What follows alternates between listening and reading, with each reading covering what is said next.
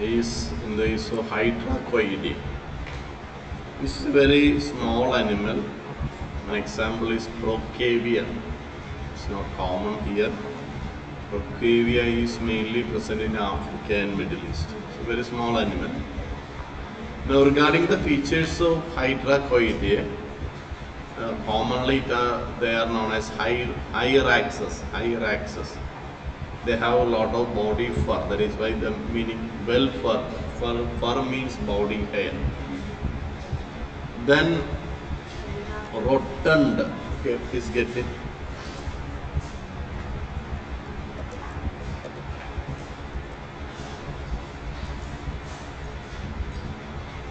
Okay, then. And regarding their nature, the rotund means actually, see, large and plump. That is the meaning of the word of uh, rotund, rotund, large, somewhat uh, the body shape is almost like a very well-built animal. That is why they are known as a. So we can call hyraxes are animals with a lot of body hair, well-built, and uh, tail is also very short. Here I will show that they have very short tail. Here you can see that. So they do not have a larger tail or a longer tail, very short tail, large as well as well-built body, and body is uniformly covered with a lot of body hair. That is the meaning of the first sentence. And they are commonly present in Africa and Middle East. Middle East means basically the Gulf countries. They are the Middle East. Now uh, they have a poorly developed internal internal temperature regulation. That is one important feature of this animal. And coming to their habitat, they are mainly found in rocky terrain. So if you uh, uh, look at the landscape of Gulf countries like uh, Saudi Arabia or Oman, they are basically desert-like countries with a lot of mountains. So in this area, this is the hyraxes or this Procavia are commonly present. Here you can find the animal known as Procavia. Now regarding the features, the common name, there are a number of common names are the rock hyrax is one, then Cape hyrax is another thing, then rock rabbit. The, the overall body shape is somewhat similar to a rabbit. That is why they are known as rock rabbit. So these are the three common names, rock hyrax, rock rabbit and Cape hyrax. Then he can see that the head is slightly pointed and neck is also short and ears, these are the earlobes and they have a rounded earlobes are also there. So these are some of the morphological features. Then regarding the size of the animal, they are not very big or not too small. It's a medium sized animal and they are mainly living on land that is why terrestrial animal. And their distribution is I told you earlier is an animal which is native native to Africa. That is original place of this animal is Africa. And most commonly they are present in the Middle East or in the Gulf countries. Now regarding another feature is that they are normally found at an elevation. Elevation means altitude altitude of 4200 meters. 4200 meters for example if you go to Munnar the height of the Munnar is around 1500 meters. So three times the height of Munnar so they are commonly present in regions which are high which are high in high altitude regions of the Middle East especially in mountain rock crevices crevices means gap small gaps which are present in the rocks are known as rock crevices so, and the one advantage of living at such, such high altitude is that it will be helping the animal to escape from enemies or from predators. Then there is a disease known as leishmaniasis. Maybe you might have studied in plus two stat. Plus, uh, leishmania is a disease, dangerous disease. Uh, once it was very common in African countries, now it is somewhat controlled. It is caused by a parasite. So this is a reservoir. Reservoir means um, the uh, the parasite of leishmania. And uh, leishmania may be present in the body of this animal, but to the animal, to the rock hyrax, it won't be producing any disease. But it can infect uh, this leishmaniasis to other uh, other other animals. That is why it is acting as a reservoir. Then incomplete thermoregulation, as I told you earlier, and it is most active in the morning as well as in the evening because they have a problem with they cannot control their body temperature properly like other mammals. One feature of the warm-blooded animal is that warm-blooded animals always maintain a constant body temperature. So that is one advantage of warm-blooded animals. But in the case of this animal, this process is not very perfect. So that is why, uh, just like a reptiles, they are mostly coming in the morning and also in the evening. During the daytime or during the midday, the temperature will be very high and during that time animal may not be very active. So uh, that is that means it doesn't have a good, uh, good control on the temperature regulation of its body. That is why it is mentioned incomplete thermoregulation. It's not very much capable of regulating the body temperature. So that is why it is active during the morning and evening when temperature is more comfortable or not too hot. Then in case of males, the testes are permanently abdominal. So there is some feature that we can find only in few animals. There is in most of them advanced mammals, testes will be removed from the body and they are placed in a sac that is known by the name scrotal sac. And there is a one purpose is that in order to develop uh, um, uh, the sperm, the, the testes need a lower body temperature. Normally our body temperature in case of human beings is 37. The testes need a temperature of 34 or 35. So inside the body that temperature may not be possible. So body is keeping it slightly away in a sac and that is the situation in most of the other animal mammals also. But some mammals like elephant, then sirenians, sirenians is an aquatic mammal, there and also in this hyrax, we can we cannot find any outside testes testes is mostly present inside the abdomen, or we call it as intra-abdominal testis. So, because uh, they do not face the problem of this um, higher body temperature, that is why uh, they can easily keep the testis inside the body. So, this is one animal where testis is present inside. Another example is the case of elephant. So, these are some of the important features of rock hyrax. It's a very small, medium-sized animal, uh, commonly present in Middle East, especially at a altitude of 4,200 meters and then the order to which it belongs is known as the Hyracoidea. Now we go to another order that is the Sirenia. In case of Sirenia, uh, we have one example that is the dugong. Dugong is the example that we are, have to find in case of dugong are popularly, popularly known by the sea cows. This is the dugong.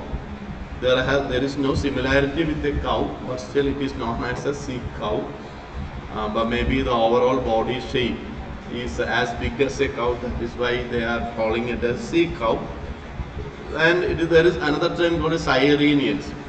Then they have a large and fusiform. The meaning of the word fusiform is means actually fusiform means both ends are pointed.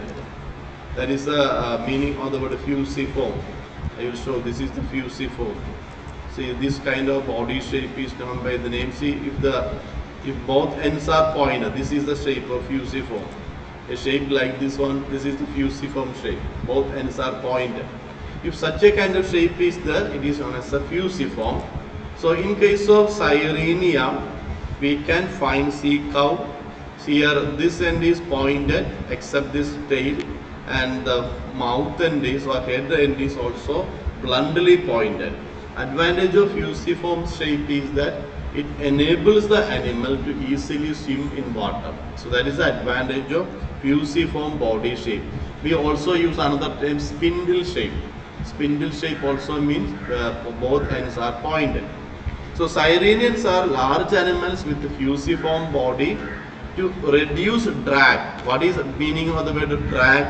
When, a, when an animal is swimming in water, the water will be pushing uh, in the opposite direction and that pushing of water in opposite direction is what we call by the name resistance. So in physics you might have when something is moving in the direction there is an opposite force from either from air or from water. That opposite force which is applied on the animal is known as a resistance, otherwise known as a drag. So an animal which is uh, fusiform in shape with pointed shape, you might have seen the shape of an aeroplane. So there the front ends are always pointed. So a pointed front end may be enabling the animal to easily move through water, reducing the drag. Drag means resistance. So that is the advantage of uh, uh, body shape which are fusiform. Then they have a larger bonds, heavy bonds, heavy bonds, very strong heavy bonds, and that act as a ballast, ballast to to counterweight the buoyancy of the blubber. Because in this animal, uh, we can find uh, the blubber is there. I will show you what is a blubber. Blubber is actually this is the what is the blubber? Inside the body of some animals yeah you can see that inside the body see this is a uh, type of blubber that we can find. There is a lot of fat will be present. I will show you cross section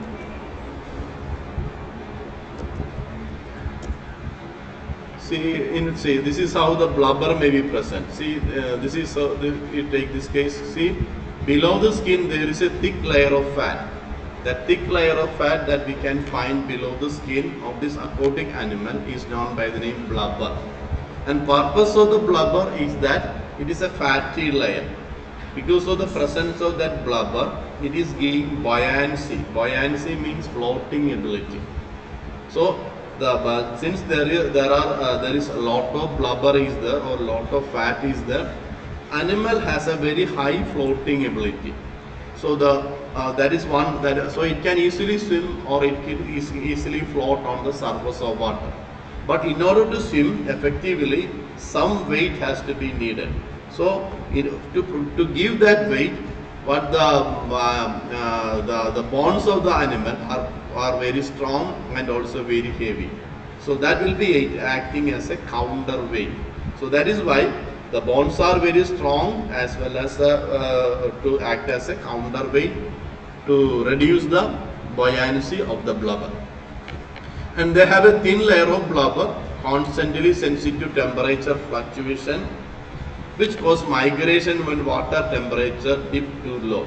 And for example, this animal is widely uh, exhibiting migration or moving from one area to another area. And usually what happens is that when there is a difference in temperature or decrease in the uh, temperature of the sea water, it can be easily uh, dictated, sensed by the animal and animal can easily, uh, in its body mechanism or physiology of the animal will be changing. So, and that decrease in the temperature of the sea water will be producing a change in the uh, change in the uh, thickness of the blubber and that will be prompting or motivating the animal to undertake migration. So that is one uh, one peculiarity that we can find in the case of sea cow or Sirenia. So this is the animal that you can find uh, it is also known by the name dugong. Then uh, uh, regarding the features of this animal, it has a uh, fusiform. Fusiform means spindle shaped with no dorsal fin. See here can say there is no dorsal fin. It is a mammal actually. It's not a fish.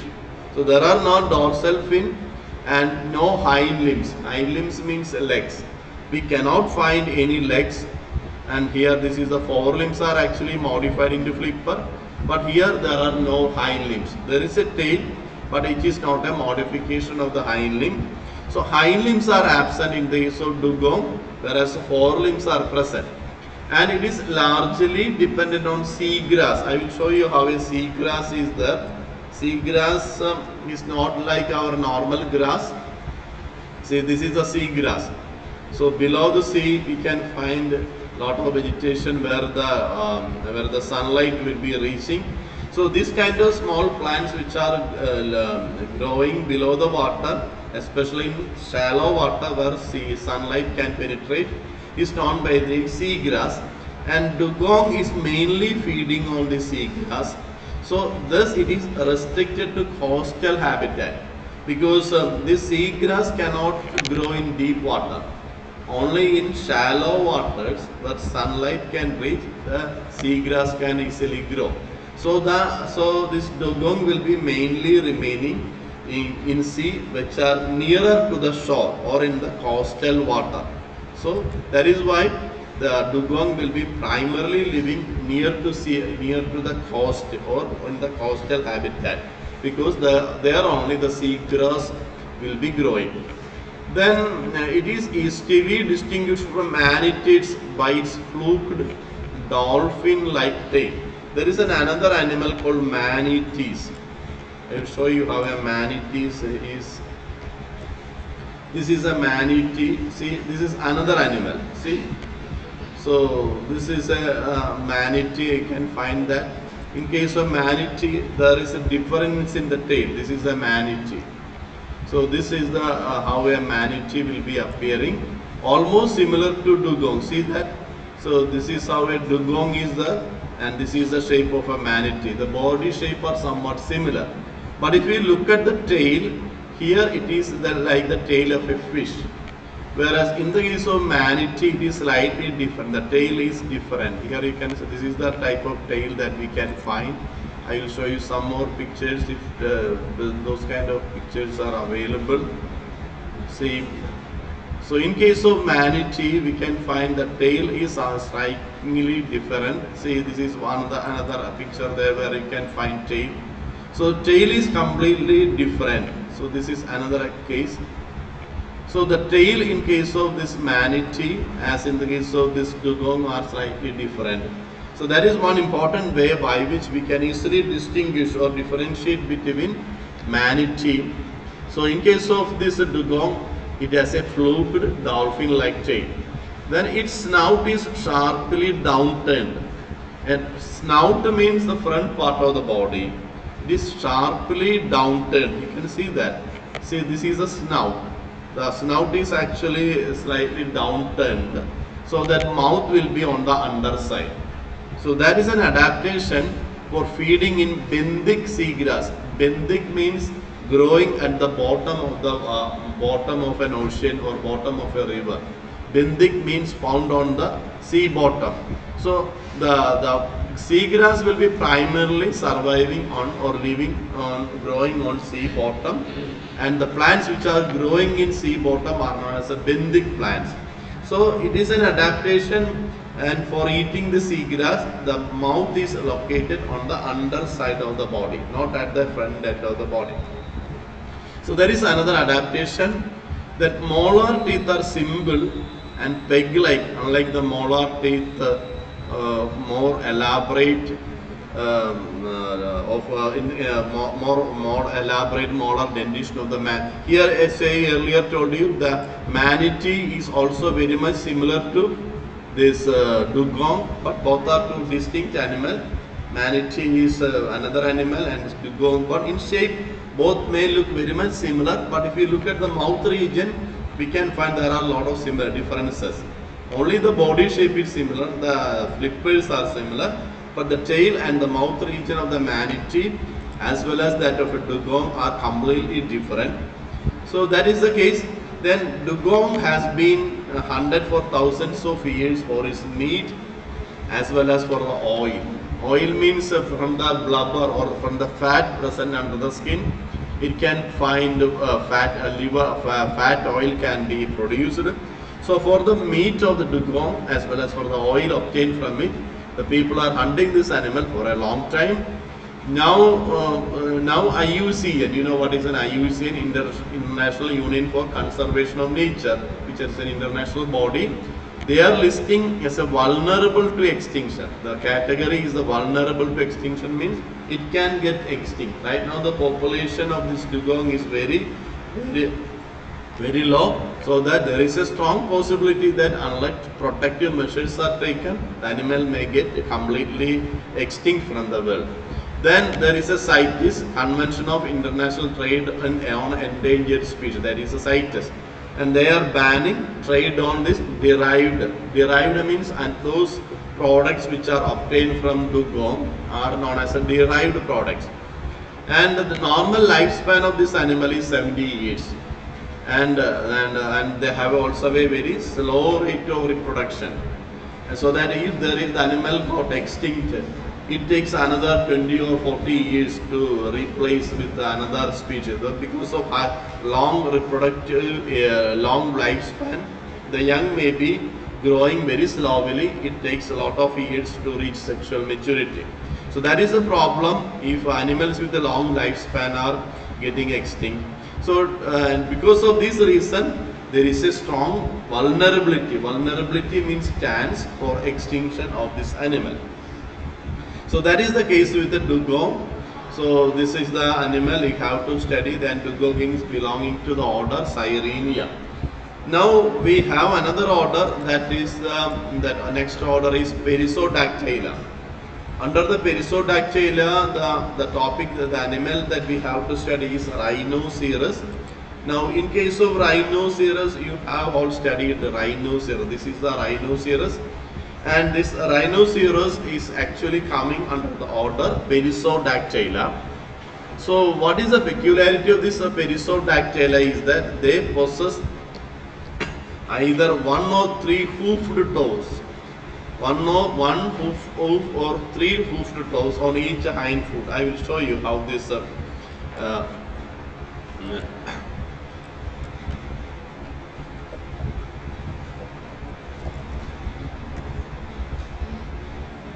See, in case of Perissodactyla, there it will be having either this is how it will be appearing. So this is the feet of a Perissodactyla. In most of the Perissodactyla, there will be either one fe- feet or one three toes or one toe. That is the meaning of the word peri. That, that is why we call it odd toed. Odd toed animals. Odd odd means one three x. So either one toe or three toes. The fingers or on the feet are known as toes. So this animal will be possessing either one toe or three toes. So this here you can find this is the old toe. See either one toe or three toe.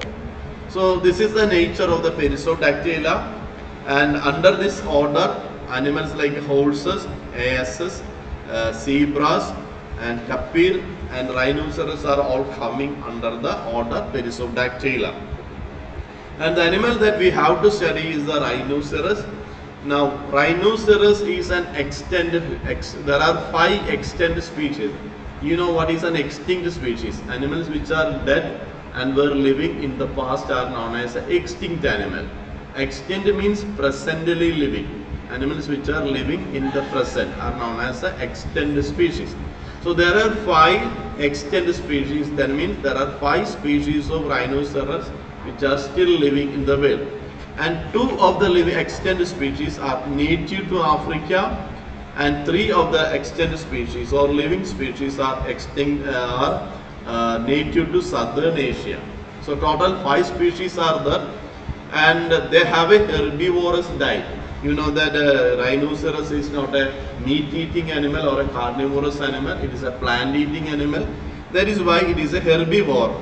And their brain is very small.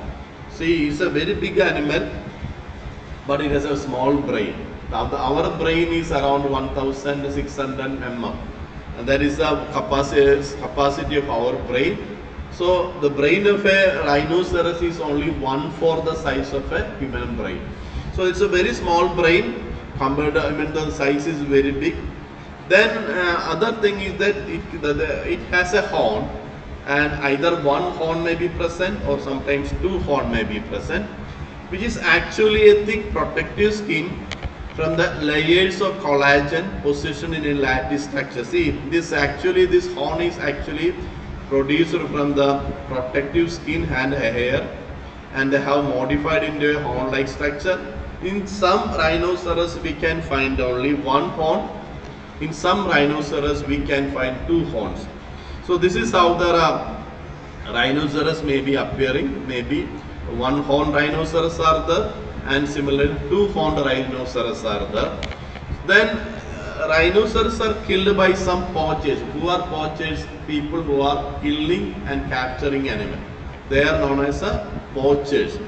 And uh, rhinoceros are killed by poachers for their horns because one advantage of the horn is that, as in the case of elephant, the horns are very useful in making lot of ornamental structures because uh, because of this uh, special nature, the tusk of an elephant as well as horn of this rhinoceros can be used for carving purpose or for making a lot of ornaments or other kinds of product and they are also used in traditional medicine in African countries. So both African species and the Sumatran rhinoceros, there is a rhinoceros in Indonesia that is known as a Sumatran rhinoceros. They have two horns. See, this is a two-horned rhinoceros. Then uh, while Indian rhinoceros and the Javan rhinoceros have a single horn. I will show you how a Javan rhinoceros is appearing. See, this is the picture of a Javan rhinoceros. See, this is the Javan rhinoceros. You can see that.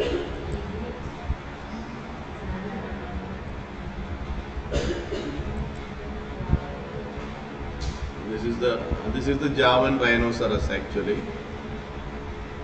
So it has a only single horn. So this is a Javan rhinoceros. Only single horn will be there. So that is a peculiarity of this uh, Indian and Indian rhinoceros also there. I will show you where in, in India like we can find Indian rhinoceros. In which place in India Indian rhinoceros is, is present? Can you say the sanctuary where Indian rhinoceroses are present? Nobody knows. Have you heard about Kaziranga? Where is Kaziranga? Kaziranga? Kaziranga is in Kashmir or in some other state. Kaziranga is in northeast. Kaziranga is a very famous uh, sanctuary in India. So this is the Indian rhinoceros. You can see that Indian rhinoceros. This is the Indian rhinoceros. I will show you Kaziranga National Park. It's a very famous national park. It's the Kaziranga National Park, and this is the Indian rhinoceros that we can find in Kaziranga National Park. Very large animal, very gigantic animal, but at the same time it is a herbivorous animal. So, so Kaziranga is a very very well famous for the presence of this Indian rhinoceros. So both African species as Sumatran species are two horn, while Indian and Javan rhinoceros have only one horn. Then IUCN, as I already told you, they list uh, identifies the black Javan and Sumatran rhinoceros as critically endangered. Critically endangered means they are not very common. That is the meaning of the word critically. There is endangered, critically en- endangered, vulnerable to extinction. Vulnerable to extinction means their uh, their population is very small. That is why it is known as a. So in case of critically endangered, the population may be still smaller, but um, no- not as smaller as in the case of vulnerable to extinction. So these are the main features of rhinoceros. Then this is the Sumatran rhinoceros. Then uh, aside from Sumatran rhinoceros, they are nearly or completely hairless. See, these animals are just like elephant.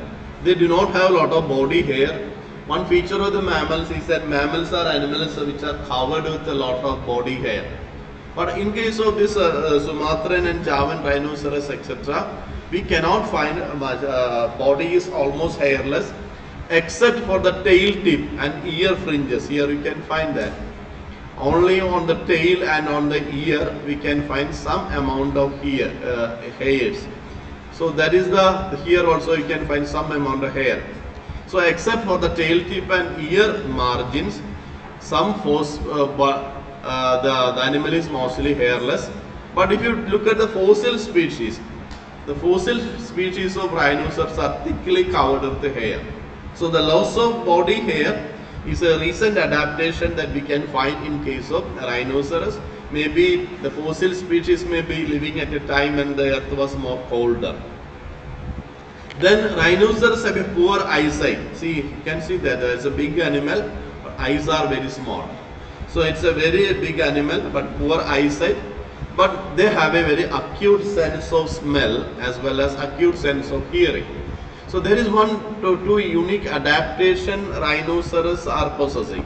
They are very good in uh, uh, sensing and the uh, uh, uh, sensing um, here they have very good in hearing and also detecting smell. Then most prefer to avoid humans. But males and females with, with calms may charge with a little provocation. Calms males and females with calms means babies. So when a male and rhinoceros or female and a rhinoceros works in company with the children and human beings or other animals are going near, they have a higher chance of attacking them without any provocation.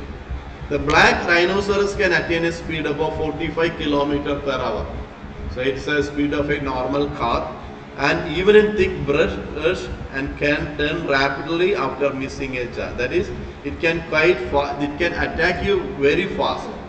Even though animal is very large, well sized, very, very well built animal, it can easily turn and come back to you very fast.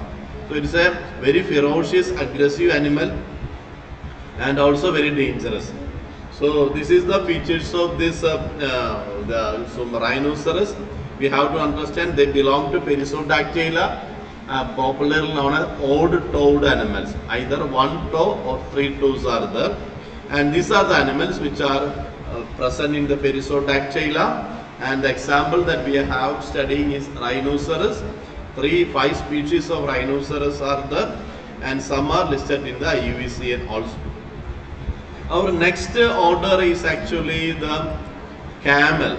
See, so camel belongs to Aritoda, uh, uh, Arito, uh.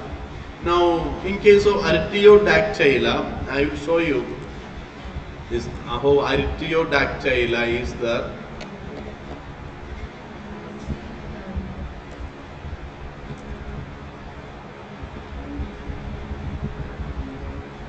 So this is the Artiodactyla.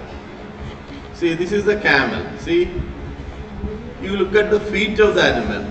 See, this is the camel. So only two toes are there. See, here also you can find only two toes. So in case of horse, we can find three toes or one toe.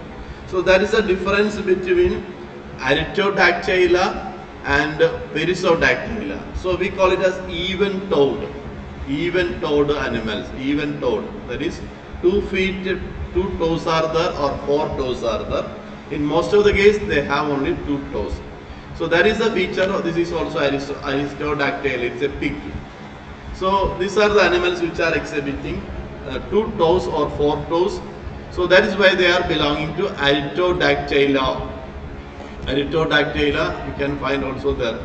So they are even-toed animals. So that is so in this example we have to find one example that is the case of uh, what is known as the uh, example that we are going to study here is the ca- camel Camelus.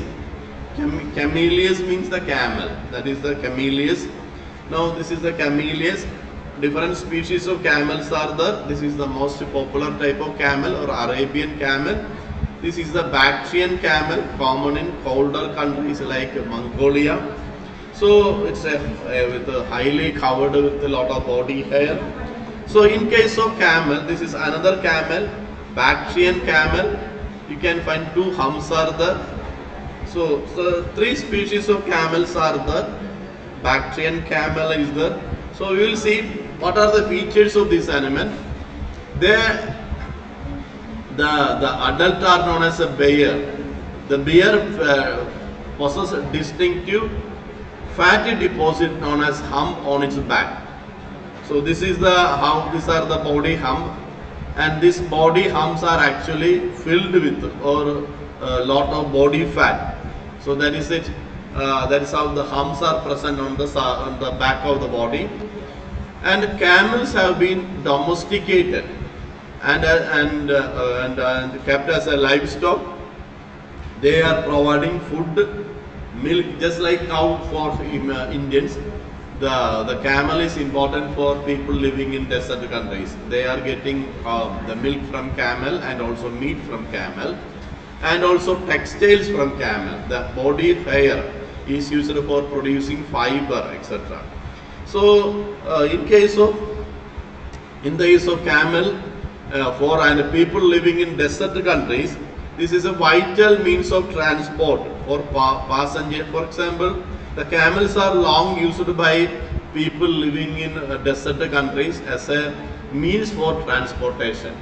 So people are uh, climbing on the surface of the back of the camel and can then camel can take them very long distance. So that is a one advantage of camel. So it is a multi-purpose, uh, multi. There, there sometimes we call it the ship of the desert. Why people call camel as the ships of the desert? Because they uh, they are mainly used as a transport uh, animal. They can take animal uh, people from one area to another area. That's why they are, are used as ships of the desert. So one humped dromedary. This is a common. This animal is known as a one humped dromedary. So that makes up 94% of the world camel population. So there are different species are there and majority are belonging to this one humped camel or dromedary camel. Then uh, two humped Bactrian camel are making up uh, say only 6 percentage. So this is the Bactrian camel, the second one is the Bactrian camel. Then the wild Bactrian camel is a separate species and that is this is a wild Bactrian camel and and it is and it is a separate and is now very critically endangered. Critically endangered means very small population is there. So Arabian camel popularly known as dromedary scientific name is Camelus dromedarius. That has a only one back hump. While the domesticated Bactrian camel Camel Camelus bactrianus and the wild Bactrian camel Camelus ferus. They have two body humps. This is the wild Bactrian camel. They possess two body humps. Then the upper lip is uh, split into two sections that move independently. See here if you look at a camel, you can see the upper lip. There is a there is at the top of the upper lip there is a gap and that is split into two separate regions. That is one peculiarity of the camel. Upper lip is split into two sections and each lip can move independently. The eyelashes protect the eyes from blowing sand. Here you can find that these eyes are covered with a long body, a long hairs are there that will be protecting the eye from fast flowing or fast, uh, fast blowing wind. So that is a one feature of the eyes. And nostrils can be cused and there will be see in the nose. The nose can be shut. Nose can be closed using a valvular nose to the so that is one feature of the nostril. It can be the nostrils are provided with the valves which can be closed. So dromedary has horny pads on its chest and knees that protect it from sear. See at the lower uh, on the uh, see here you can see that below the feet there are certain uh, uh, certain horny pads are there. Horny pad means very thick pads are there, skin pads are there that will be protecting the animal from the heat of the sand. And Bactrian camel lacks, Bactrian camel will be mainly living in, this is the Bactrian camel and they are mainly living in colder countries like Mongolia. So there they do not have this uh, shoe-like uh, feet. Then uh, camels do not walk on their hooves. On each leg the weight is borne on two large toes that spread apart to keep animal from sinking into the sand. See, I will show you how the feet of a camel is there. So this is the nature of the feet. See, so this is how the feet of a camel is. See, this is the nature of the chameleon feet. See, because of the uh, these two toes which are spread like that, the, the the leg will not sink into the sand. So that is the advantage of feet like this with the two toes. So that is one peculiarity of the camel, and because of this kind of toes, the uh, each leg which is weight is borne on two large toes spread apart to keep animal from sinking into the sand. Then dromedaries have a soft widespreading pad, pad for walking on the sand. That is a Bactrian camel. Then in severe heat, camel survives for 4 to 7 days without drinking. That is one important feature of the camel. Even without drinking water, a camel can easily live for up to 1 week. Then it can go 10 months without drinking at all. And if it is not working and forage because that without drinking any water, a camel can go even up to 10 months. But they will be eating something and from the food they are eating, they will be getting some water. So body rehydrates within minutes of a long drink, absorbing 100 liters of water. That is, that is another capacity. A camel can drink 100 liters of water in 5 to 10 minutes. So when water is available, camel drinks a lot of water and store this water. So a, a thirsty camel can reduce its urine output to one fifth of its normal volume. That is, uh, if animal is feeling that there is no water availability, what it is normally doing is that it will be reducing the production of the urine. From the normal uh, urine output, it can reduce the normal urine output by one fifth, or it can only 80% of the urine it can prevent.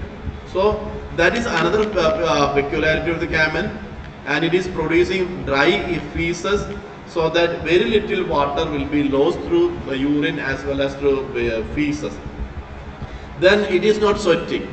That is another peculiarity. So camel is well adapted to live in on desert. No sweating, no very little urine is produced, and they can survive without water for weeks or months. So these are all uh, then fine woolly coat insulate the body is another peculiarity that is uh, helping the animal and camel can allow its body temperature rise to 41 degree so there is, for example, normally the temperature of most of the mammal will be around 37 or 38. But and after if our body temperature is increasing above 37, what our body is doing, our body will start producing sweat, and sweat will be uh, evaporating, and the, that evaporation of sweat will be cooling our body. So that is how our body in most of the mammals will be working. But in case of camel, the camel will not sweat it can raise its body temperature up to 41 degree. So even if even if the environmental temperature is very high, the camel will not be sweating. It will be slightly raising its body temperature. Only if the body temperature reaches 41 degrees centigrade or 106 Fahrenheit, it starts sweating. So that is another unique adaptation the camel is possessing. When food is plentiful, camel over overeat. That is the overeat. It has a capacity of overeating as well over drinking. The 100 liters of water it can drink and storing lot of fat in one area on the back and that is forming the hump. So these are the features of the camel and uh, that is why camel is very well adapted to live in desert. It is known as the ships of the desert. It is a highly useful animal. So uh, for the people living in uh, desert countries or in the Middle East, camel is forming an important part of their life.